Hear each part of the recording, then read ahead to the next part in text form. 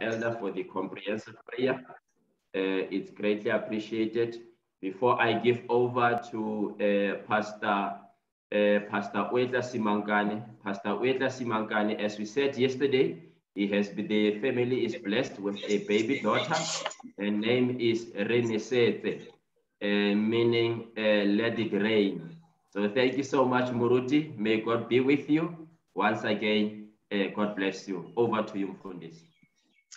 Amen, amen, and amen. Thank you, Tabo. And uh, thank you for that first prayer, Elder. We want to greet you, beloved sons and daughters of the living God, in the name of our brother, Jesus Christ. It is an honor to join you once again this morning. And I pray that God's Spirit will truly be with us, that we will be blessed as we meditate upon His Word. I want to draw our message for this morning from a couple of texts of Scripture. Uh, allow me to just list a few verses. I will just read them briefly in their summarized formats. Genesis chapter 25, verse 34. So Esau despised his birthright. Luke chapter 3, verse 38. Adam, the son of God. And uh, Luke chapter 15. My son, the father said, You are always with me and everything I have is yours. Isaiah chapter 59, verse 1 Surely the arm of the Lord is not too short to save, nor his ear too dull to hear. But your iniquities have separated you from your God. Your sins have hidden his face from you so that he will not hear. For your hands are stained with blood, your fingers with guilt. The grass withers and the flower fades, but the word of our Lord shall stand forever. Father in heaven, we ask for the blessing of your Holy Spirit. May you inspire us, may you encourage us, may you transform us, for we ask humbly in Jesus' name. Amen. Uh, beloved, we notice very quickly in the book of Luke that Adam is given a very honored position, a very special place in the human family. Everyone else in the genealogy of Jesus has a human father. You remember this. Adam is the only one referenced as having a heavenly father. He is the only one referred to as the Son of God. Now, they say familiarity breeds contempt, and I want to begin by establishing how special a position this is. Uh, there is only one time that you can have this honor. Uh, to be uh, the Son of God is only referenced, as it were, one time uh, he is the firstborn son of humanity. And that is something that could only have happened once. Uh, but I want you to understand this morning that as you look at the Bible, though we might be familiar in the New Testament with the concept of being sons and daughters of God, uh, this was a, a very sharp transition from what had been known in uh, the Abrahamic faith. I have yet to find in the Old Testament an individual in the human family who is referred to as a son of God or one who uh, called God Father. Abraham, Joseph, Moses, David, or Daniel never fell to their knees in the solitude of their chambers and dared to address God that way. It was therefore a very radical uh, thing when Jesus again and again refers to himself as the Son of God and refers to God as Father. But before Christ, Adam is the Son of God. And I want you to remember this for coming days that these two seem to hold a very special position in the human family. That Adam is the son of God, the first one to be re referred to as such. And until Christ, the only one to be referred to as such. And when Christ comes, he refers to God as his father. Now, as a son, Adam had access to the tree of life as a son. He had access to the throne of God. He had dominion over the earth. He was uh, an imager of God on earth, an ambassador of God. This was, as it were, if it was a business, you would call it father and son's cooperation. It was Adam uh, representing God on earth. The rulership over God's creation had been handed over to Adam so that he would do so on behalf of his father. Uh, but Adam was found unfaithful in God's house, and his status and privileges were revoked. Uh, and this happens when an intruder, an invader, an impostor, a thief, an uh, interloper uh, appears and claims his possession. It is as though at the tree of life, at the tree rather of the knowledge of good and evil, our first parents put an X on the paper and effectually sold what was theirs by right of birth. They entered into a negotiation there under that tree with a liar and a deceiver, and they found themselves empty handed after the deal. Uh, the forked tongued serpent deceived them, he lied to them. He advertised heaven but gave them hell. He promised pleasure but gave them pain. It ended in tears. And here we are at the end of that decision, on the other side of that decision. And we can know without a doubt that decisions have consequences. Two arrangements must be understood as we look at this story. As we look at this story, I want us to go to another story to appreciate what is happening here.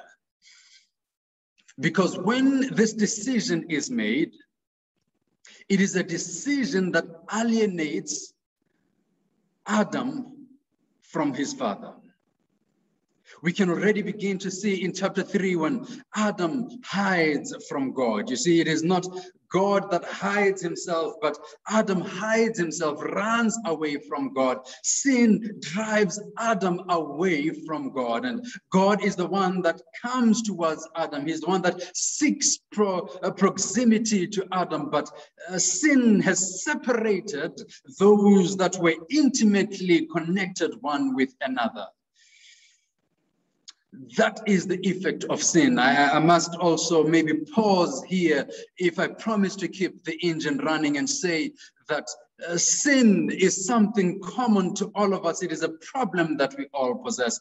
There's a story given of a pastor who saw children playing on the street and the pastor runs to them and he listens to them speaking and he loves children as pastors do.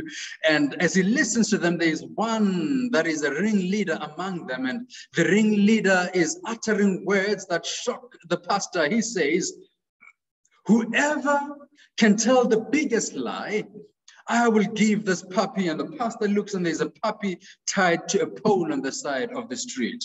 Whoever can tell the biggest lie, I will give this puppy. And of course, the, the pastor sees a teachable moment right there. And he comes along and he says, Oh, this is not a good game to play. And then the, the, the, children come and they, no, pastor, this is just a game. We're just playing a game you know, he says this game is teaching you bad habits. It's uh, encouraging lies. And uh, no, pastor, it's just a game. And uh, the pastor thought, okay, let me use this moment to uh, give instruction to the kids. And the pastor says to them, you see, when I was a kid, I never lied. Uh, to which the kids, the ringleader's eyes popped open and he immediately went to the side of the pole and untied that little dog, that little puppy and gave it to the pastor. Game over. Who can compete with the pastor? Whoever can tell the biggest lie, I will give this puppy. The pastor has won. Even when trying to do what is right, the pastor finds himself going astray. We find ourselves in this predicament that sin has gotten a hold of us, sin has gotten the better of us, that though we hold desires in our hearts to do right. Paul says, That which I want to do, I do not do. That which I do not want to do, I find myself doing. This is a problem. Why is it a problem? It is because choices have consequences. And though we might not uh, choose what the consequences are, we do make the choices, and those choices will come with consequences. And so you may choose and make your decisions, and that is up to you, but it is not up to you what the consequences shall be. And so, beloved, this is what we see in the Bible story that choices are made and those choices have consequences. It might seem like a very light choice that is made there under that tree. It seems like a light choice, doesn't it, when uh, there is a fruit and that fruit is eaten, how could it be that at the end of that simple choice, at the end of that minute appearing choice, that we have this avalanche of consequences? How could it be? I want to give an illustration to the gentlemen that are here among us. If, if you are standing and a woman comes to you, a stranger, a lady comes to you and says, uh, look to your left and uh, she gives that instruction your wife comes along and says no look to the right. I want to promise you it really does not matter the value or the reasons for looking to the left or the right. At the moment when one woman says look left and your wife says look right the right decision my brother is to look right. Uh, forget about whatever rationalizations you may have. Forget about what lies on the left or what lies on the right. At that moment, it is a question of allegiance. At that moment, it is who you are choosing. Uh, the, the result of that choice may go further than whatever weight you put to the choice itself. At that moment, you are choosing sides. When your wife says, look right, it is a choice whether you are choosing another woman when you choose left. And so it is not simply a matter that you've chosen left, it is a matter that you've chosen another woman over your wife. I want to suggest, beloved, that when our first parents are sitting by the tree and God has said, look right, and another comes and he says, look left, it was a decision of alliances that was being made. It was a decision of which side you are on that was being made. And this is why this is such a weighty decision. It's not just about a fruit. It is not just about glancing left or glancing right. It is about whose side are you on? And I want to suggest that at that moment, they chose the wrong side and they were deceived, though he promised a heaven. This deceiver gave them hell, and we are experiencing it right now. Decisions have consequences. They, at that moment, had a birthright, but in making that choice, they forfeited the birthright. In making that choice, they sold the birthright for a fruit on a tree.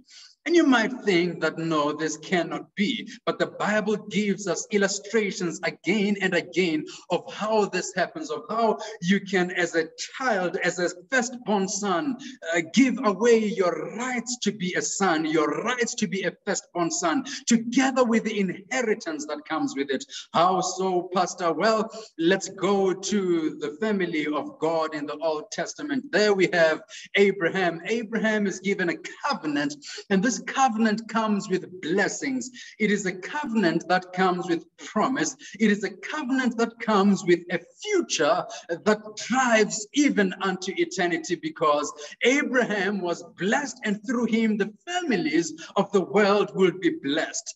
And so it was from generation after generation, from his own loins, everyone that came after him would come in the context of this covenant. And so what is is it that happens? There is a law of a firstborn son. And so uh, Abraham's firstborn son was to be the inheritor of the covenant and the covenant's blessing. What does this mean? It means that that which Abraham was, his firstborn son would be. He would take the status of Abraham. He would be the father of his household. He would be the heir of this status of being the father he would be the heir of this status of being the ruler, of being the high priest of his household. He would be the heir of this covenant of being the one through whom the blessing would come. And so the lineage through which Jesus would come would come through the one who inherits this covenant blessing. But this could be forfeited. This birthright could be sold.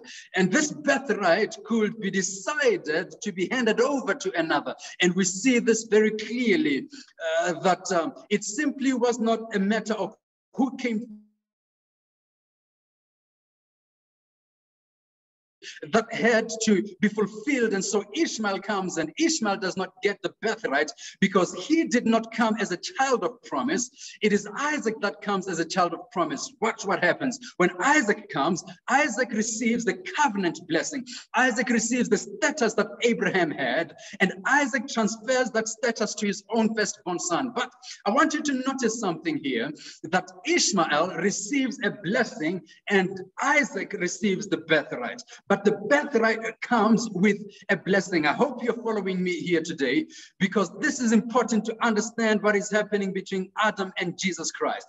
And so now the son of Abraham is Isaac who receives the, the status and Ishmael who receives a blessing. But Isaac also has children, and Isaac's children are Jacob and Esau. Esau comes first, but Esau, the Bible says, despised his birthright. His birthright was that he would take the status through Esau, eh, the lineage of Jesus would be through Esau, the covenant blessing would flow. But Esau despised the birthright and he would rather have the blessing. The Bible tells us that though he sold his birthright to his brother Jacob for a bowl of soup, at the end of the story, when uh, his father Isaac is giving the blessings, he comes along and he says, Give me the blessing. But his father says, No, no, no, I've already given the I've already given Jacob the blessing, the greater blessing. I cannot undo that. And so we see here that he says, I will bless you nonetheless.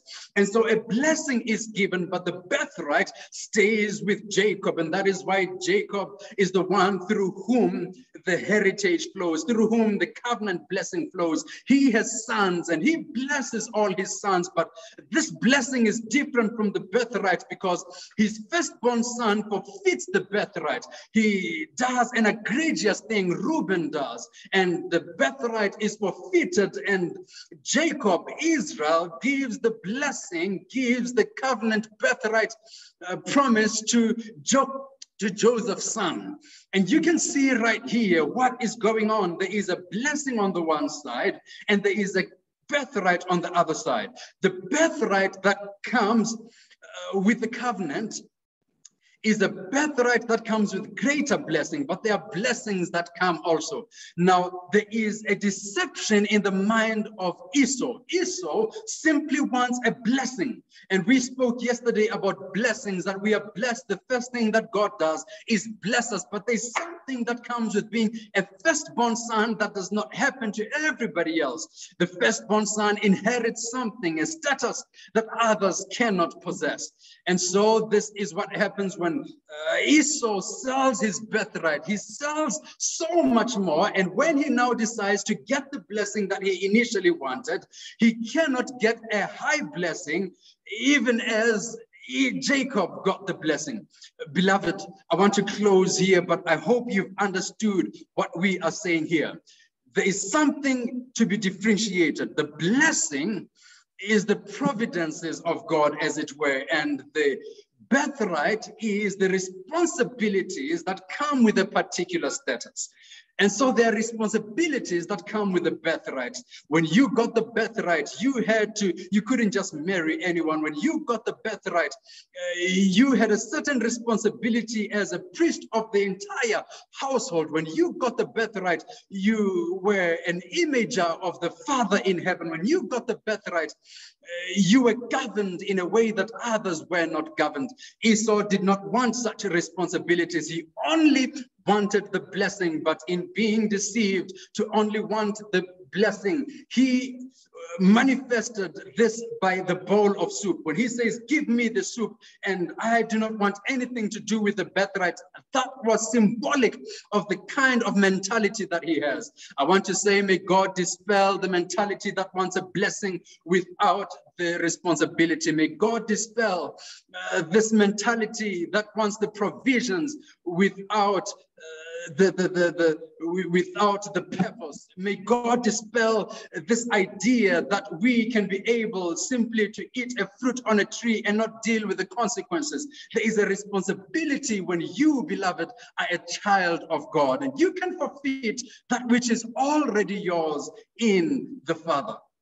And this is exactly what happens. Adam forfeits what is his. And in forfeiting what is his, he plunges all humanity into darkness. In forfeiting what is his, all humanity loses the entire inheritance. We lose what is already given us, the earth that is ours, the dominion that is ours. All of it is gone. And what do we see? By the time we come to the book of Job, we see that when Adam shall be the head of the household, when the sons of God are called to God's presence to give an account from the places and the households of God, Adam is not the one representing us. There is another who comes, and God says, Where are you coming from? And this one says, I'm coming from earth, from gallivanting here and there. And he is making himself appear to be the head of this household. Yes, indeed. By the time Jesus comes, he refers to this impostor as the ruler of this world. Could it be that Satan, at this point,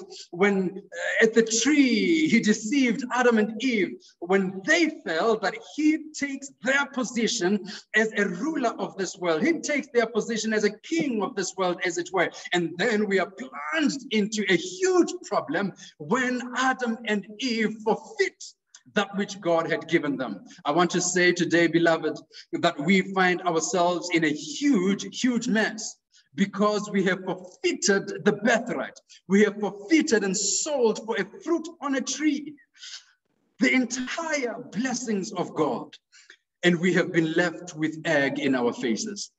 I want to say to you that, beloved, as we make decisions in this life, our decisions have eternal consequences. It is not just our first parents that made eternal, weighty decisions. We too are making decisions.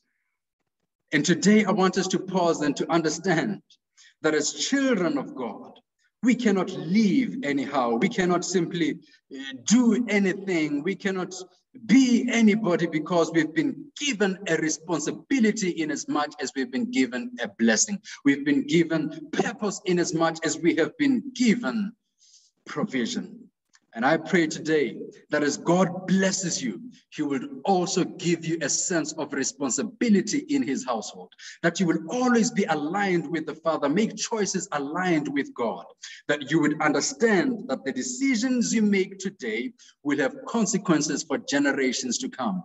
Africa, don't sell eh, your land for a bowl of soup. Fathers, don't sell your children's future for an emergency today. Mothers, please consider how weighty your decisions are and that they will affect generations to come. May the Lord bless us as today we live our lives as children, as sons and daughters of the living God. Father in heaven, we want to ask for forgiveness for our sins, and we want to thank you. We want to thank you that you have a purpose for us. Today, I pray that you may, like David prayed, search our hearts. And if there be any wicked way in us, may you reveal it so that we do not sell our birthright for a bowl of soup. May you reveal our own sinfulness and our own darknesses, our biases, our own rebellion to us, so that, Father, we do not uh, self sabotage, so that we do not put ourselves in positions where we forfeit even the blessings of God Himself. Father, I present every child, every son and daughter into your hands, and I pray that you may forgive them for their sins, but today fill them with your Holy Spirit to live a holy life. This I pray in Jesus' name. Amen.